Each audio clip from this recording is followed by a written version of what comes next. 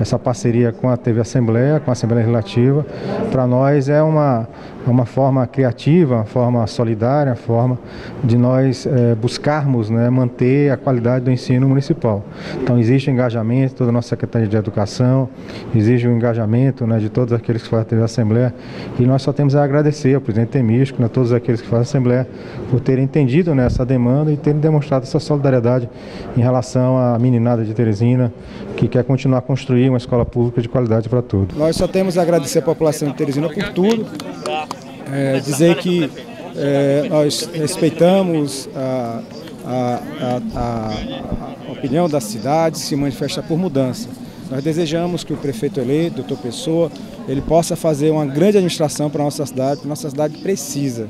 No último dia de 2020, me despeço desse lugar que representou durante alguns anos o meu compromisso público com cada um de vocês.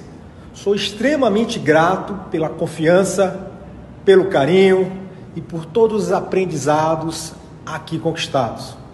Saio com coração em paz e feliz por tudo que Teresina me ensinou. Nossa eterna gratidão.